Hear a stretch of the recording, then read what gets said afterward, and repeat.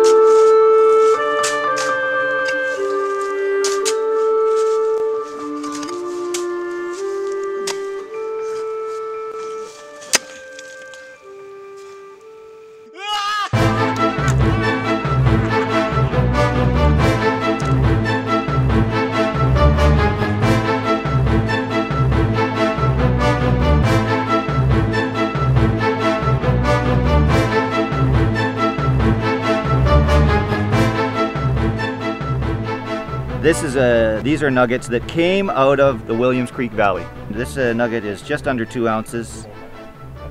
This is what we're looking for here. If we find this, that's the glory. You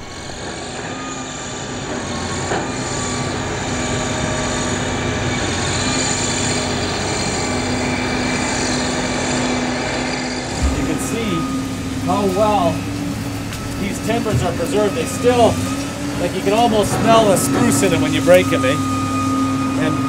Just amazing that these have been under the ground since 1862. 50,000 ounces came out of this tunnel. Change